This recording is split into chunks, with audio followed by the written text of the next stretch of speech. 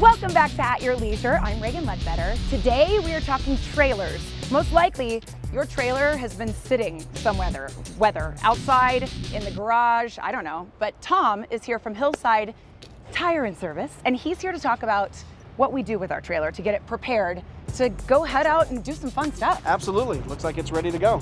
Yeah, so this one's already got your At Your Leisure Polaris RZR here, which I, sounds fun to jump on there.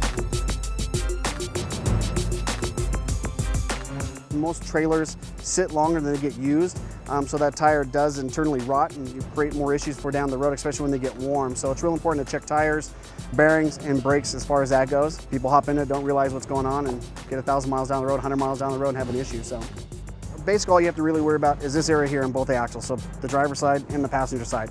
Um, tires are the main thing you're going to check, um, and then the wheel bearings to make sure that they have enough grease because that tire spins fast enough going down the road, which generates a lot of heat. So if it's missing grease or low on grease, you have a chance of burning up that bearing and causing an issue on that side or the whole axle. So the first thing you do is just check your tread. Um, again, these have little tread bar indicators. They're little tires. They are. Um, and this one is getting down there, not quite ready to be replaced. So the next thing that we would check would be for cracking, which you can have cracking either on the sidewall here um, or in the tread base itself. So I've had a trailer before, and one of the issues that we had with the trailer was the brakes and the wiring system connecting and all of that. Correct. Do we need to check that? Usually you don't unless you're having issues. And obviously you're towing it from your house to wherever. It could be a mile, could be five, could be 10 miles to the shop or to here at Hillside Tire. And if you're gonna notice if you have an issue, it's gonna lock up right away if you have a wiring issue or a brake issue. The next thing would be checking the grease in the bearings, which this, this form has the what dirty they call, part. it is. That's why we brought, uh, I think we call them cute Marcos. Cute Um, Marcos, we love him. These ones have bearing buddies, so these are really easy to do. He's gonna kind of show you what to do as far as popping off that outer cap. Um, this is why I'm glad you do this, because I don't want to be doing this. I don't even do it. I don't like getting dirty. That's I know. Okay, so and then he checks to see right now what is he checking? He's basically pumping grease in there, and you shoot grease in there until you start seeing it come out the end of it, which means it's good to go. I like it when it's that simple. It- It's super simple.